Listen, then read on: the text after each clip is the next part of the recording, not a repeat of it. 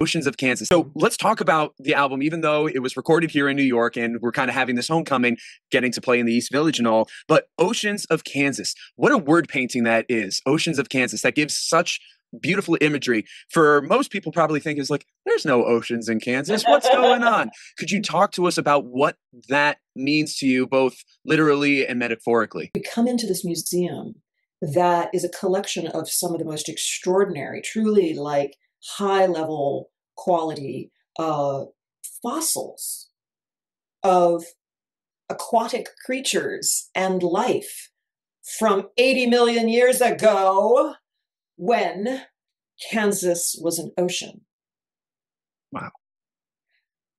It just completely blew my mind.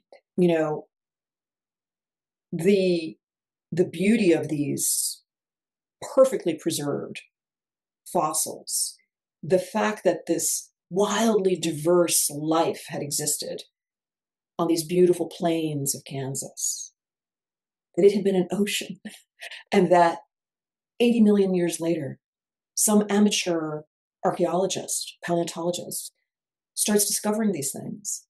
And through, you know, his own passionate interest that he passed down to his kids and all that, they developed this museum.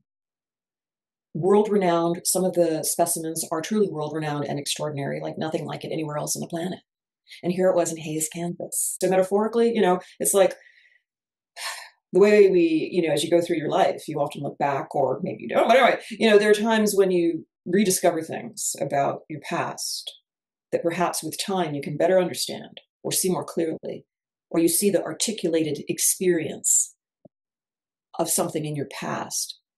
And the passage of time has allowed you to understand it better or accept it better, or even share it and disclose it. Right? Yeah.